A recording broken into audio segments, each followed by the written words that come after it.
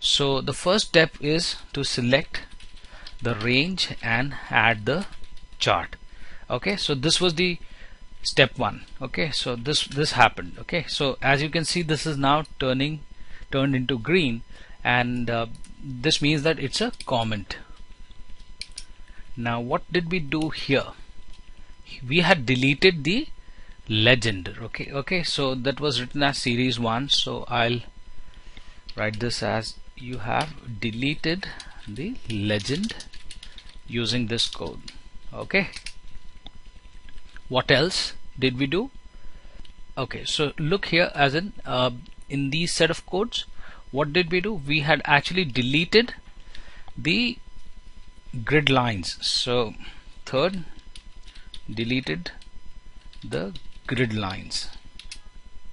Oh so as you can see this is not a command this is a, a, a comment. So I must have apostrophe sign before this 3 so that's why it was giving me an error. So now it has turned into green color which means no problems.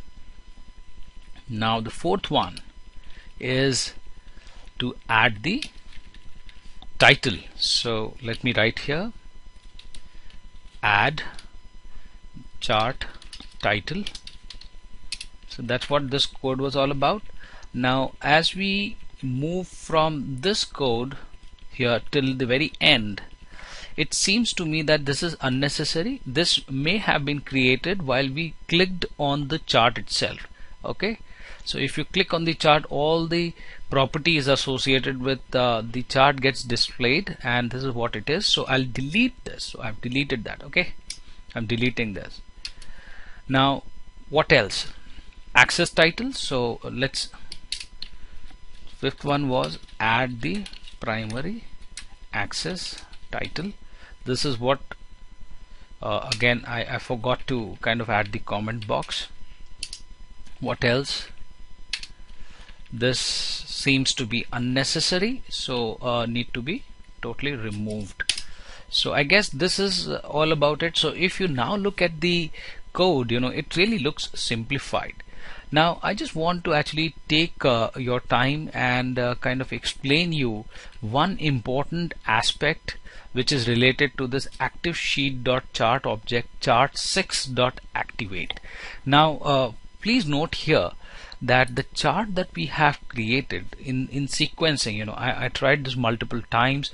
So chart 1 was created then when you create a second chart it will be called as chart 2 then uh, you know chart 3 chart 4 chart 5 so if you create the next chart you know that will be called as chart 7 so uh, your code has chart 6 but when you create a new chart that will be chart 7 so just to show you an example here uh, let me uh, kind of uh, try to do that by recording another macro.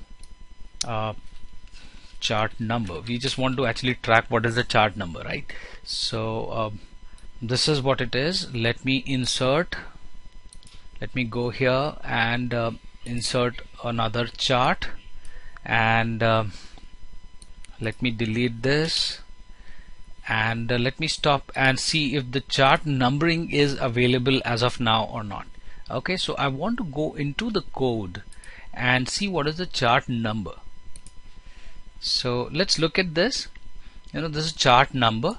And if you note in this uh, commands you will find that this is now referred to as chart number 7 because in terms of sequencing this was chart number 6 and the next chart will be called as chart number 7 and now think in this context that if we will delete these charts and create a new one that will be called as chart number 8 and uh, our code mentions that this is chart number 6 so uh, probably we will go incorrect in this fashion. So let me uh, demonstrate this to you.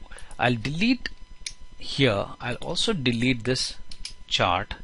And I'll try to run the macro here which is the chart sample which the one which we just created. And I'm sure that there will be some kind of error here. So let's run it. And uh, as you can see there is some kind of error and let's try to debug. What does it say? It says that there is an error here in chart number 6 so let me just redo it uh, in order to understand what was the error. The item that which was specified wasn't found. It wasn't found because I had already deleted chart number 6 and now this would be chart number 8 9 whatever. So what is the solution to this problem is that to be uh, to be very fair this whole line is actually not required. You can go ahead and delete this line because you are anyways in the active chart.